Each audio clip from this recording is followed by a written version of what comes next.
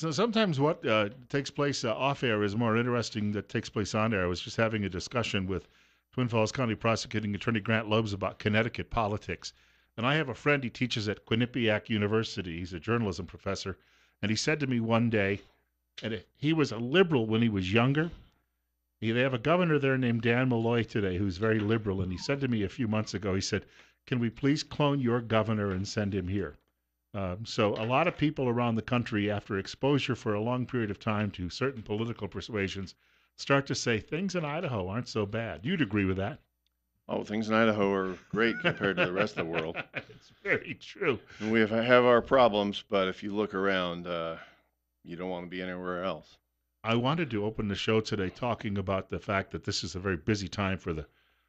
Well, maybe it isn't because they're just announcing the decisions that Right, arguments have already taken place. They've already argued them and written them, but they're issuing them. Supreme Court this week will have a lot of uh, decisions that will be released. One of them yesterday, even though it deals it was narrowly with one case, there was a band, rock band, I guess, called the Slants, composed of a, a group of people who are all of Asian ancestry. Uh, they had been refused a trademark because of that name, because it was claimed it was a racial slur. They fought this. The court, in an 8 nothing decision, uh, recusal by the newest justice because he wasn't there for some of the arguments, but in an 8 nothing decision said, sorry, you know, they can have the name if they like it. But the impact, I was reading about the ripple effects on this last night. Uh, the impact across the board means, for instance, the Washington Redskins can't be denied copyright on the name. Uh, campus speech codes that try to control what people say, uh, you know, that, that they'll come, they'll fall by the wayside. Uh, and it shows you, in contrast, Canada passed a bill. I read about it at the uh, Heritage Foundation's website this morning. Canada passed a bill yesterday that will criminalize certain speech. For instance, if you have a man who thinks uh, he's a woman and you call him a man, you could, by the new Canadian law, face legal peril for doing that. So the United States, we talked about Idaho versus Connecticut, but the United States versus even some of our closest neighbors is still really, despite what a lot of people would say, quite the breath of fresh air when it comes to liberty. Yeah, I don't know why this, and it's really not much of a surprise. It was an 8-0 decision. Uh, I don't know why people would be surprised by this. It's fairly clear in the Constitution, uh, and I think the court just reiterated it.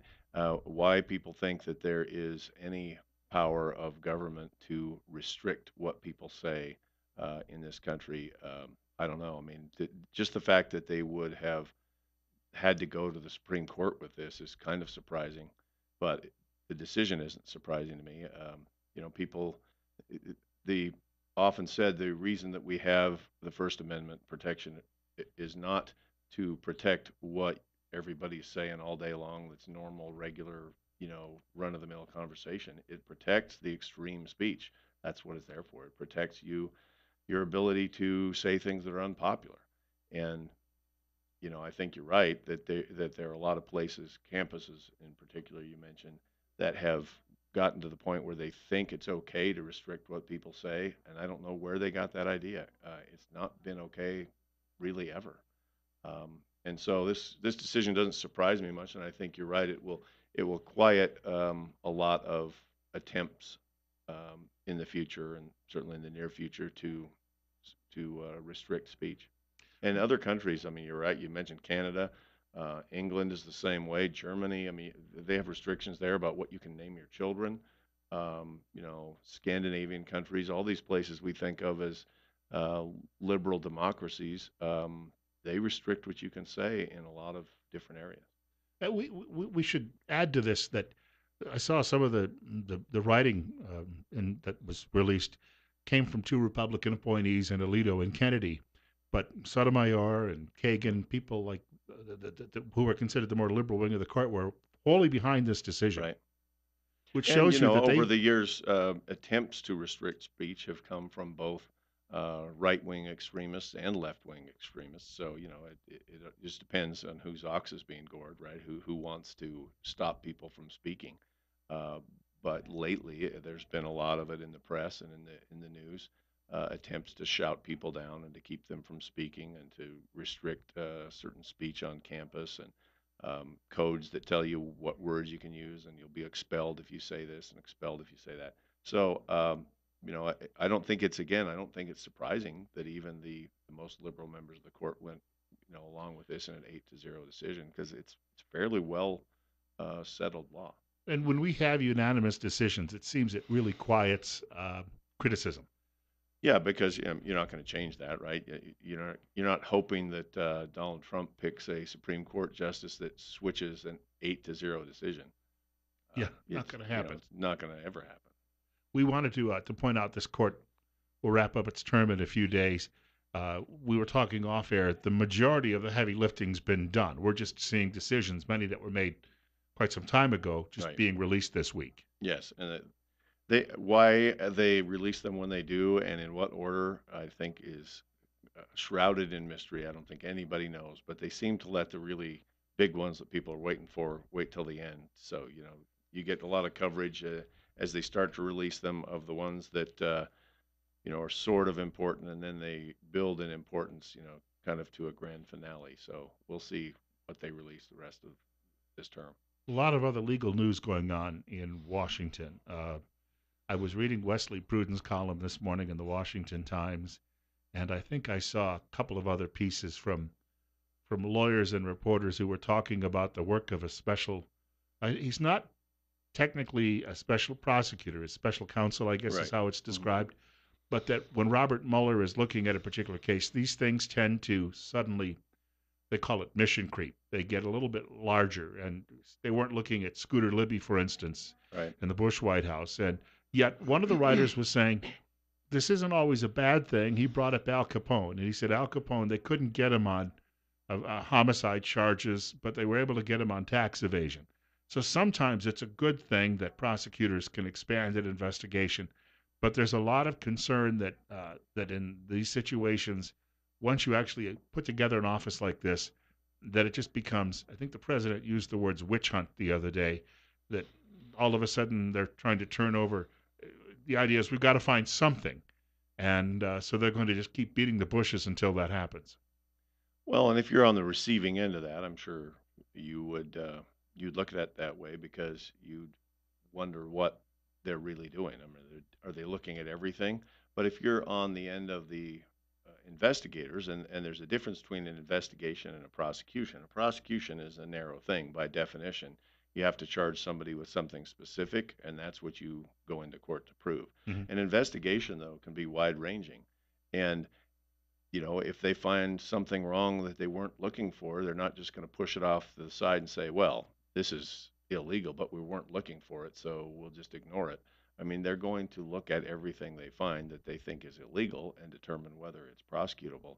So, yeah, it, when you're in in the, crosshairs of a wide-ranging investigation like that, I'm sure it can look like a witch hunt to you because you think, boy, they keep looking into everything. When are they going to stop?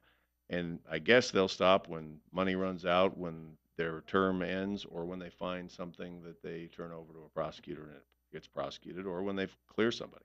Alan Dershowitz is a, as, as I understand it, a very respected legal mind, uh, and he's been writing about this, teaching constitutional law for many, many years. Uh, he happened to be appearing last night on Fox News Channel with Tucker Carlson. You could listen to this. Here are a few clips of what he happened to say.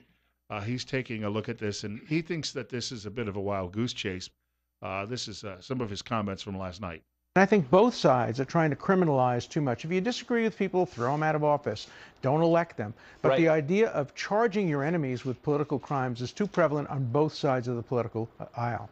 What the Democrats are trying to do to President Trump is exactly what some Republican extremists tried to do to Hillary Clinton lock her up, throw away the key. But Richard Nixon told his staff to lie, probably destroyed tapes, and paid hush money or tried to pay hush money to witnesses. There's no allegations of any independent criminal conduct against uh, President Trump. Now, he keeps saying, and he's been saying it for weeks, there's nothing to see here. Mhm. Uh, and I respect the man, but I also realize he's he's just offering his opinion. Sure, and of course he has available the same information that you and I do if we read extensively and uh, and know what we're talking about. He doesn't have whatever information the FBI has or the investigators have at this point. But obviously, I I agree with what he says at the moment. At the moment, there's been nothing shown that um, that I think is prosecutable. Um, there are all kinds of things that might be bad judgment, that might be uh, foolish things to say, that might be you know sloppy language uh, from a person who you know clearly doesn't have experience in politics or law. Uh, but the, to elevate to a, to a crime, you have to find a statute that's been violated. You have to find a law that's been violated, and um, you know any prosecutor that files a charge is going to have to do that. Now you get to people like Maxine Waters and people like that running around saying that, you know he's going to be impeached, and they're drawing up impeachment uh, documents and all of that. Uh, those are kind of the things I think Dershowitz is talking about. It's it's an attempt to politically persecute through a semi-legal system uh, your opponents, and that that gets out of hand. I mean, people have to be able to say things you disagree with in politics as well as you know in free speech. In other words, they can't bring him down, but they can win the court of public opinion and hope that that translates at the ballot box next year and in 2020. Right, which is of course always okay uh, to attack your opponent for for differences of opinion, but to try to turn them into either impeachable offenses or criminal prosecutions is a, is a big step. And you know, hopefully, and I, I have confidence that Mueller is not going to go down that road. I mean, his job is to see if a law is violated, and if a law has been violated, to turn that information over to a federal prosecutor. Uh, and you know, we'll see whether he finds anything. He's, there's certainly been nothing demonstrated thus far. Well, last week, late last week, it was said it was leaked to the press that they were looking at uh, the president for, the potential obstruction of justice. And there was a lot of ink spilled on that over the weekend. And I thought to myself, well, yes, of course. They look at everything. Mm-hmm. Um, and to me, I wasn't alarmed by that. It just seemed to me that's the natural course of what they do. And then at the end, they close up the books and make a recommendation one way or another. Sure. And it, it, all, like every investigation and every prosecution, it's got to be driven by the facts. And the facts are specific to this incident. Um, if he uh, obstructed justice or attempted to, then that can be a crime. And, you know, depending on what he did, I mean, an offhand comment probably that I hope you don't prosecute my good friend Flynn. He's a good guy. Probably doesn't count. The problem is that when you're the president, you say offhanded things, and the power of the presidency is behind you when you say them. And so, obviously, it would be smart not to say things like that because it could be construed well, of as course. you're trying to intimidate the director of the FBI. Right. I mean, if I go to a restaurant and, and they don't give me, they don't comp my meal, and I say, "How would you like it if a search warrant was done on your place?" Um, that speaks a lot more loudly than if you say it, um, because I have, you know, at least potentially, and at least the perception might be that I have the power to abuse that you don't. And obviously, the president has the most power of anybody in this country. And when he says sloppy things like that, uh, they're likely to be misconstrued or construed in the least favorable light. We've got more coming up with Grant Loebs, the Twin Falls County prosecuting attorney. We're at 920. It's 77. Bill Colley with you as well on Top Story on News Radio 1310, KLIX, and NewsRadio1310.com. Question or comment for the prosecutor? You can get in touch with us after the break at 736 0300. That's 736 0300. Our studio guest is Twin Falls County Prosecuting Attorney Grant Loebs. He joins us on a monthly basis, generally on a Tuesday morning. 22 minutes after 9 o'clock, it's 76. Bill Colley with you as well. On top story on News Radio 1310, KLIX, and NewsRadio1310.com. A question or comment for the prosecutor this morning? Feel free to give us a call at 736 0300, 736 0300. I had a conversation over the weekend with a, fellow who uh, he grew up in Twin Falls when it was a city. He said probably of twenty thousand people, and then business took him away for many many years to a very big metropolitan area, and he came back here and he's starting to realize that the the growth in our neighborhood is turning us more and more into what you might call uh, urbanized environment, and he had some thoughts about where that's going to lead. I want to talk to you about that before we wrap up today, but first I'll take a telephone caller. Caller, you're up next. You're on the air with the prosecutor. Go ahead. Good morning, Mr. Loebs. I have two questions for you. And one of them is uh, like yesterday when I was uh, at Walmart with my son. My son is 25 years old, benches about 400. And I, I, I train boxers. So it's like this individual was all of a sudden just honking the horn, flipping, flipping me and my son off. At what point does it count self-defense? Because apparently rhetoric is running rampant, and it's like I don't, I, we don't know this individual from Adam. My son goes, "What do you want? You want me to talk to him?" And I go, "Nah, you know what? Let's just the the heat is messing up the natives here. So you know what? Let's just let it let it slide, let it roll. Let's go." So we did, but he kept chasing us, and so until he got off it, until I guess the lady that was with him told him to stop, and he, and he stopped. But what I was trying to avoid was, you know, who knows this individual might have a gun, and my son has a permit to carry a gun, and so, you know, I don't, I really don't want to see that, and so that's one question, and uh, the other one, what do you think of um, Sean Spicer not giving any more uh, video or audio of, of of the press conferences? Thank you, Mr. Lopes. Can you please answer that?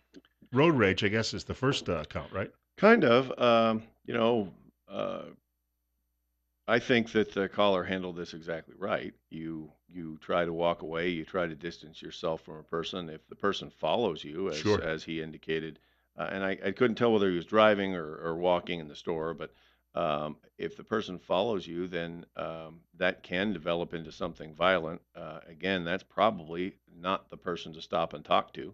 That's the person to get away from.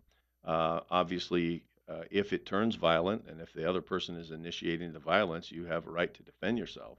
Um, that's usually the last resort, though, because once you start going down that road, bad things happen and they continue to happen. He, he cited it happened at a department store where I've seen people Yes, just over parking spaces yeah. get enraged, and I don't know how many times I've seen the police have to come there to calm things down. Which is the next thing, of course, I was going to say, and that is, you know, call the police. Uh, if if you're in a situation where you can do so safely and you're not in imminent threat of of bodily harm, uh, if somebody's not coming after you with a knife or a gun or ramming you with their car, uh, you know, call the police and say, hey, there's a jerk out here. He's acting violent. He's I don't know what he's going to do. Uh, he's disturbing my peace out here, and you know the police will show up uh, because they take these things uh, seriously. And if they, if they can get there, they'll get there immediately.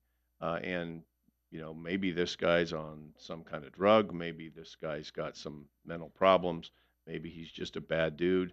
Uh, and in any case, you don't want to you know start a fight with him. You don't want to start a verbal argument and have it escalate to somebody you know reaching for a knife or a gun. So um, I think there is a, a very serious um, loss of inhibitions in society these days that uh, it's, it's it starts at the top and goes all the way down to a guy in a parking lot at Walmart. And I think you just need to keep your head uh, about you and, and be careful. I mean, uh, things can turn badly quickly. A lot of this is because of our social media culture, Sure. which has led Yeah. to a lot of that as well. Yep. And um, and I think that people start behaving in ways where they are detached from what is real, and maybe they can't even tell what's real and what's a video game and what's Snapchat and what's Facebook, and they say and do things that you know a generation ago would be unthinkable. There was a, you referenced just trying to get away from a situation like that. There was a column from a newspaper writer in uh, Nampa at the Press Tribune last week. He's a, he trains people in, you know, The firearms Castle safety. Doctrine column. Yeah. And Matt Folks, I know Matt. He used to, was a prosecutor uh, up in one of the counties up there. I think he, he mirrored County. exactly he, he bore out what you argued when this was somewhat of a controversial issue during session it, pretty much uh, you were spot on Mhm. This is this we were headed down that road where we were going to turn this into people just shooting people down because they Right. thought Right. they might be a threat Right. And, you know, we have in this state a, a pretty good law that, uh, that, that protects your right to defend yourself, uh, to defend your family, to defend your property.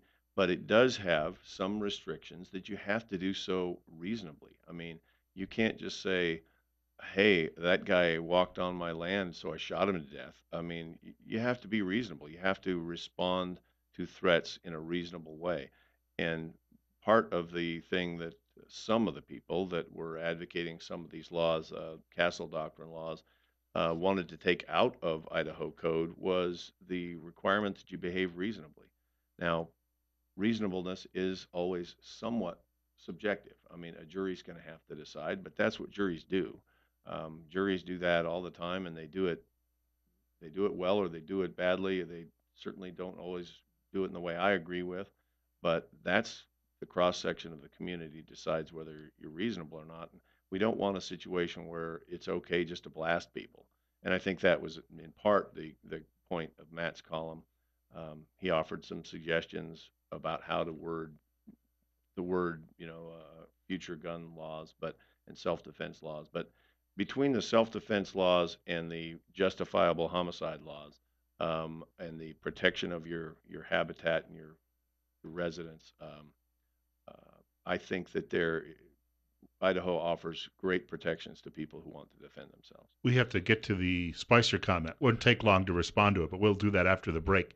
Uh, 9:30. That was related to Sean Spicer doing these uh, briefings uh, away from the press gaggle, and I, I guess that's a controversial issue for the press. 77 right now. And remember, uh, the prosecutor used to work on Capitol Hill. He has some knowledge of how these uh, situations work, and he also has uh, some knowledge of afflictions of the media. Uh, we've got another half hour to go. Top story: Bill Colley with you, of course, on the uh, on the program today. County Prosecutor Grant Loebs is our guest until 10 o'clock. We've got more coming up. Twin Falls County Prosecutor Grant Loebs joins us in studio, and uh, he's here until 10 o'clock this morning. He's also available to take some of your telephone calls. Uh, the number is 736-0300. We're at 934. It's 78. Bill Colley with you as well on Top Story. A caller uh, brought up, uh, just wanted to know your take on Sean Spicer. He's not doing as many formal press briefings, but he's doing these informal, off the record talks with selected people in the media. Uh, does that offend you greatly? I don't care. I mean, you know, the the press briefings are all scripted on both sides. I mean, the the press people go in knowing exactly which question they're going to ask and which gotcha they're going to try to get, and often how they're going to report it.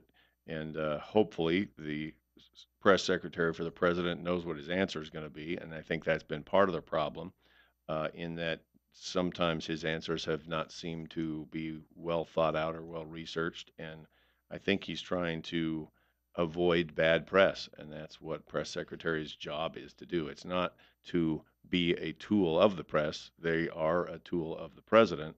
And uh, if his performance is giving the president bad press, or if they think that that format is not working, they're going to change it. It's not the first time that's happened. He's not legally required, by the No, way, to do he has- this. He has no legal requirement to ever answer a question from the press. I mean, you know, it's the way we do it in this country, but um, you know, we had we went through many, many, many months in the Obama administration where there wasn't a single comment, uh, you know, uh, from the president to the press, and he didn't take questions.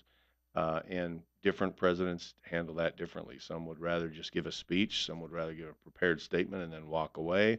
Some stand there for you know many minutes answering whatever questions thrown at them. Um, and I think the environment in the press room uh, has a lot to do with that. This that reminds me a bit of uh, in the 1940s, the media had gotten used to daily briefings from the First Lady. And then when President Roosevelt died, Bess Truman came in and the media was asking her some questions. And they said, How often do you plan to do this? She said, This is my last. Yeah. Well, we need to know what you think. And she said, No, you just need to know what my husband thinks. Bye bye.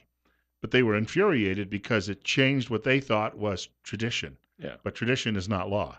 And tradition changes all the time. I mean, a, John Kennedy press briefing is a lot different than a Nixon press briefing. Uh, uh, you know, and and if the president themselves is in the room uh, answering the questions, then that's a huge difference. And so, every administration does it differently. Um, I think everybody's waiting to see what, if ever, there will be a normal for this administration because they seem to change a lot.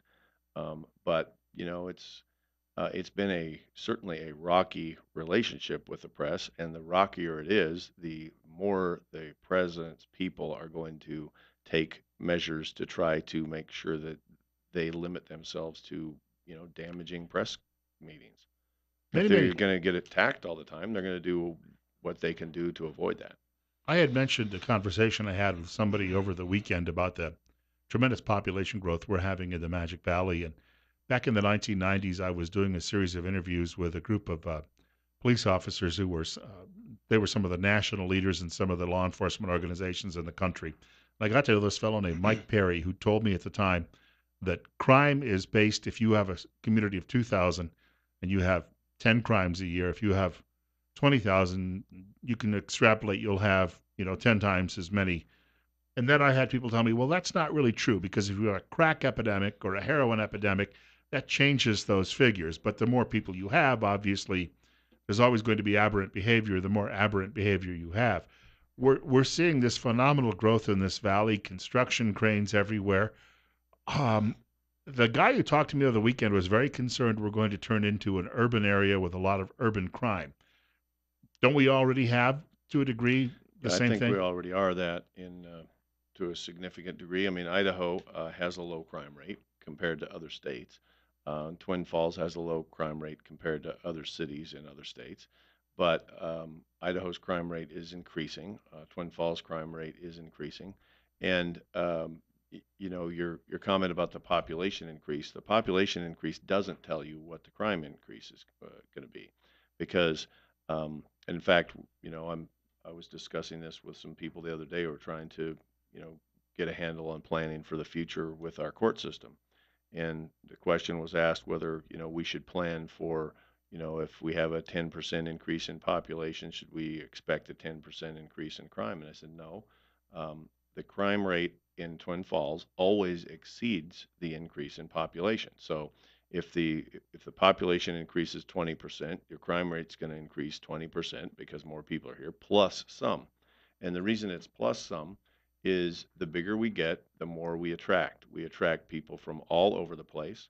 Uh, Highway 93 from you know Nevada up to you know Sun Valley and beyond is a, a major thoroughfare for drug trafficking, uh, and that's going to continue. Uh, we we are on we're very near an interstate. That's that makes us a, a stopping place for criminals who don't live here, Mhm. and being the only population center uh, for a long way in every direction, north, south, east, east, and west. We have people from all over coming here to do shopping, to spend their money, to recreate, and to commit crimes. Hold that thought for a moment. We'll get back to that in just a moment. It's 940. We're at 78 still. Grant Loebs, the Twin Falls County Prosecuting Attorney, joining us in studio on Top Story with Bill Colley on News Radio 1310 KLIX and NewsRadio1310.com. 18 minutes before 10 o'clock. It's 77. Uh, Twin Falls County Prosecutor Grant Loebs is in studio with us until 10 o'clock this morning. The telephone number, if you'd like to reach him, 736. If you've got a question or comment pertaining to uh, law, prosecution, and courts, uh, 736-0300. Bill Colley as well on Top Story on News Radio 1310, KLIX, and NewsRadio1310.com. Let me correct the temperature. We just had a spike. It now reads 81, so maybe the clouds the clouds broke. You, we were talking a bit about the population growth here, and just before break, you said that if there's a 20% population growth, there's a corresponding percentage growth with crime, Mhm. and then maybe a few more And percentage some, points. yeah. Are we going to have to build? I saw this happen in a county where I lived, where they had to build. Uh, they they had a beautiful old courthouse built in the 1800s, late 1800s, and they literally had to build across the street several new courtrooms, and so they had to expand and do that. Now taxpayers start saying, "Well, I don't know about that," but at some point, if we were likely in the 50,000 range when it comes just to city population, and just to drive anywhere outside the city, the building boom continues. Uh, we could be at 75,000 people in the city in a matter of a few years. There's only going to be so much space available to bring people in, and you, you're going to need courtroom space, new judges. You may need a bigger staff as well. If you've got more crime, you need more, you know, deputies working in the office as well. People better be prepared for all of this. Well, sure, it's it's inevitable, and you know the only way to to preclude that is to stop growth. And you know you, you could, I mean, the, the city of Twin Falls um, has a very pro-growth strategy. I mean, they want more business, they want more Mhm. people, they want more tax base. Um, there are cities in the country that do everything they can to stop growth, uh, to stop people from coming in. They stop issuing water permits and such so that people can't build houses. But I don't think that anybody wants that because it stifles the economy. So if if you're going to continue to have growth, you're going to have to grow in the areas in government that are needed to control that growth. And um, you know, that's the the county commissioners have been talking about uh, having, you know, looking to the future for the court facilities and for the jail facilities. And, you know, every time you talk about this, of course, you get people say, I don't want to pay for a new jail. And you, you know, these things go up for, for bonds and you see them all the time. They fail and they fail and then ultimately sometimes they pass. Um, we saw the Jerome jail bond go how many times? I don't know. Uh, but the fact is, you're going to need more, um, and you're going to need more courtrooms. You're going to need a bigger uh, court facility. And in Twin Falls, we do have, like you just said, the old, you know, early 1900s courthouse, which which no longer has courtrooms in it. Um, and next to it, uh, because of the growth that was needed many years ago to get out of that one building, uh, we have the court facility, which has um, two district courtrooms and three magistrate courtrooms um, and other facilities. The, down the road, very very quickly, I think uh, we're going to outgrow that. If I mean, really, we already have. The question is, what is the next step? And I think the next step is going to be to build a um, a quality building that's going to uh, take um, take our growth into the next 30, 20, 30, 50 years, uh, and that will last, and you know maybe even that can be added to, uh, because um, if you continue to grow your town, you're going to need to continue to grow your jail facility, your court facilities, your police departments, your prosecutors, your public defenders. Um, all of these things need to grow with the population, and and even more so in law enforcement with the crime rate. Well, and you referenced Jerome. I know that in Jerome and Gooding uh, counties, they had lots of opposition to new jails. And then there was an argument, well, they're not yet full. But the thing is, they're going to be filled. Sure. And then some, the, the, the Yeah. rate things are going. Yeah, I mean, it's always it's always a catch-up game, right? I mean, you're always going to be trying to plan for the future, and that you don't know exactly what the future will be, but you know the future will be more. Um, you know, we hope that crime rate will go down. We hope that the drug problem will will be alleviated. We hope that you know people will learn to live peacefully with their neighbors and you know not assault people over parking spaces in the Walmart parking lot. But the fact is, the more people you have, um, the more crime you're going to have, and the more crime you have, the more facilities you have to have to deal with it. And then, you know, referencing Walmart, and you referenced how this area has become the shopping center for parts of three states. Sure. And, and so you have all of those people coming in and they're trying to crowd into these parking spaces, they're clogging streets. You're going to have, and, and the other thing that happens in these parking lots, I lived in a city where a massive mall was built. I mean, it was six stories high, and it was done because they thought it would help turn the city's finances around, which it briefly did, and then things took a nosedive because it was, we'll point out, controlled by Democrats, uh, and they, they they they had to keep giving goodies away left and right. But I remember the police officers said that within two years, the highest crime rate in the county was that mall parking lot, and it Mhm. was mainly just small time crimes, purse snatchings, those types of things that were going on. They had to hire a huge security force privately just to patrol it. So when we, we, we look at Pole Line Road and you see all of the shops and stores that up and down that street, you realize that you can't have a police officer there in every parking lot. Uh, you're going to see more and more of these types of small time crimes, maybe even some large Sure. ones that will come along. Well, crime follows the populations like everything else, right? I mean, uh, y- criminals are in the business of feeding on the rest of the people. Uh, either they go to where the population is to sell their drugs because they need people who will buy, or they go to where the population is to steal things because you have to steal from other people, or you know they they go to the shopping and then they go out for six beers and they drive on our streets. I mean, uh, whatever type of crime you're talking about is increased when you increase the population. And I don't want you know to be alarmist and make it sound like you know Twin Falls is you know going to become um, a horrible place to live. Um, it's the crime rate here is still um, well below what it is in you know most places you'll go, uh, and you know the the police and the prosecution and the courts have it you know know, under under control to the extent that this thing is ever under control. Uh, it's not a runaway problem. But we, one of the reasons it's not is because we are up to date and we we have to continue to stay up to date. So we can't say things are great now. Let's just keep what we've got for the next 20 years and things will still be great. No, they won't. Um, you'll have not enough people, not enough places, not enough courtrooms, not enough jail spaces, not enough anything to deal with things if you just stay static. With we're also dealing with a drug epidemic in the way of heroin and meth that is like nothing obviously people have ever seen before. But we have some experience in the 1980s with the crack cocaine epidemic, which when that hit the streets in the mid 80s, everyone thought that this was going to be a perpetual problem. Looking back on the late 1980s with sentencing guidelines, especially the federal courts, um, mandatory sentences and the like, it seems a little harsh, maybe draconian now today when we look back on it. But I guess we tend to forget that it cleaned. We don't hear about crack cocaine epidemics any longer. Well, no, and you you know you you go from one thing to another, right? You go from crack cocaine to methamphetamine. Now heroin's coming up again, um, and you know harsh prison sentences don't solve everything for sure.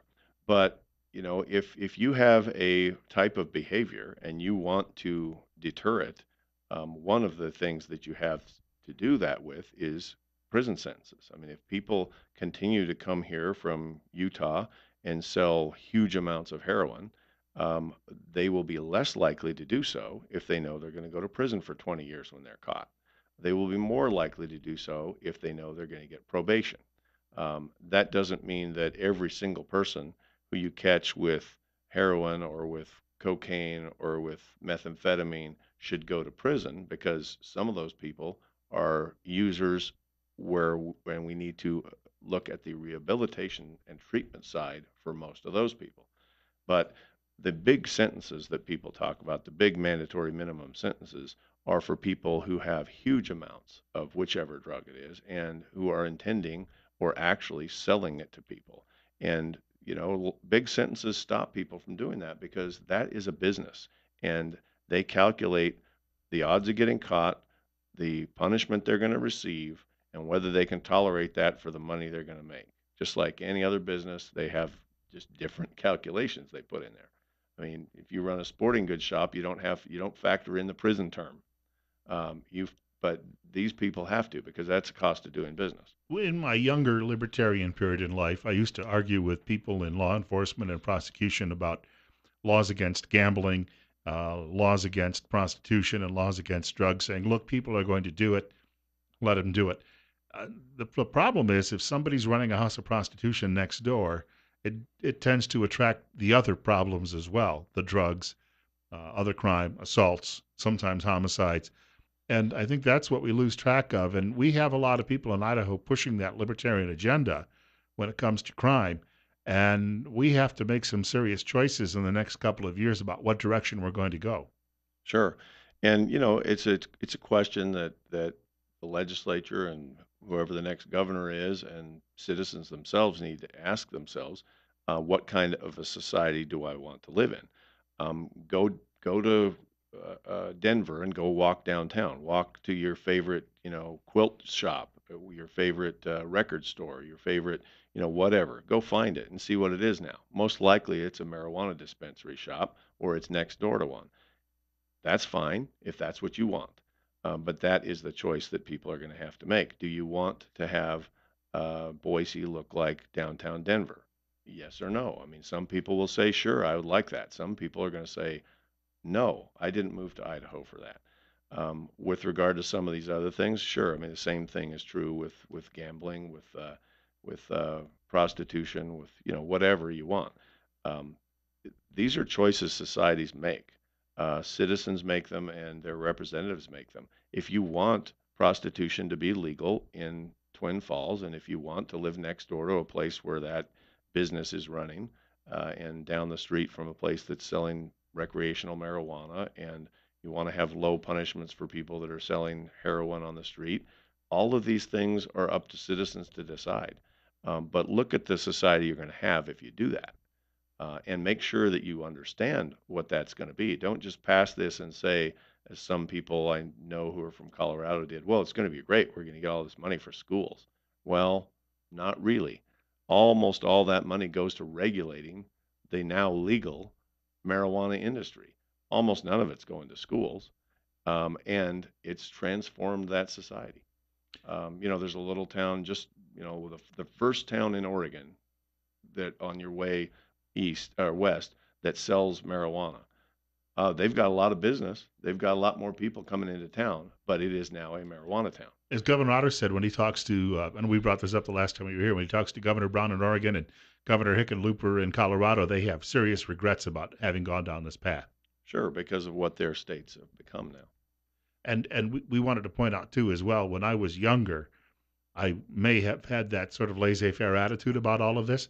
It's strange though, once you have children, and then you have a reaction that says, "I don't want my kids to see this," Mhm. and and that's where it starts changing your outlook. I think. And you might buy a house, and you don't want to have a house by it. Right. I mean, and you know, I understand people saying, "Well, you know, if it doesn't hurt anybody, why do we care? Go ahead and do it." It doesn't hurt me if my neighbor wants to go to a prostitute down the street, and if the prostitute wants to be a prostitute, it doesn't hurt her either, as long as she's, you know, being treated right and all. And that there's some truth to that, I suppose, from a purely libertarian, do what you want as long as it doesn't hurt your anybody else Mhm. philosophy. But what does it do to the place you live? And that's the harder question and the bigger question to ask. And I guess if you're a libertarian, you ask yourself, um, what does the fact that everybody's doing whatever the heck they want to do do to the rest of the community? And is that a good thing or a bad thing? If you think it's a good thing, then I guess, you know, there will be candidates on the ballot for you to vote for Yeah. and vote for them. You know, uh, And but- there are there are states obviously where you can relocate that you would be more comfortable. Uh, but the idea is that the overwhelming majority of the population here wants these things regulated at this moment. Sure. And and you know things change. I mean, there we used to you know because often in the marijuana debate you hear, well, we had prohibition, you know, and and you know alcohol's worse than marijuana. Well, whatever. I mean, whether it is or isn't. One quench your thirst on a hot day, but Well, yeah, but but you know, you you had um, those are decisions that people make. Um, we have, as a society, made a decision that it's okay to have a bar and it's okay to serve alcohol. We could make a decision that it's okay to do the same with marijuana, but before we do so, we better take uh, uh, the lead of these states and look at what they've done. I mean, there are states that are going down this road, and if we wait a year or a couple of years, we already have good data, but the, the longer we wait, the more we'll get. Let's watch and see what those places look like in five years before we rush in to follow them. Um, sometimes being a little bit behind the curve is a good thing because you can see whether the guy ahead of you gets hit by a freight train. it's like the line a friend of mine told me I worked with years ago. He said, I I was looking at a brand new model of car that had been introduced, and he said, wait till next year and buy it because he said they'll get all of the Yeah, the troubles out of Ideally, it. Yeah, uh, in the first year, and then by year two, you'll be fine. The engineers will have corrected everything they may have overlooked. right. Similar to that, we've got to wrap up. But for people who'd like to get in touch with you, uh, the office number is. 736 4020. We should point out you're not on Facebook. No, Yes. not likely to be. Grant Loebs in studio with us. We'll see him again in a few weeks. We're coming up on 10 o'clock in news from Fox. Rush Limbaugh's program afterward. Sean Hannity at 1 o'clock today. Glenn Beck at 4. Dave Ramsey at 7 o'clock tonight. Uh, God willing, the creek don't rise. That'll allow me to come back and do this all over again tomorrow morning between 8 and 10 o'clock.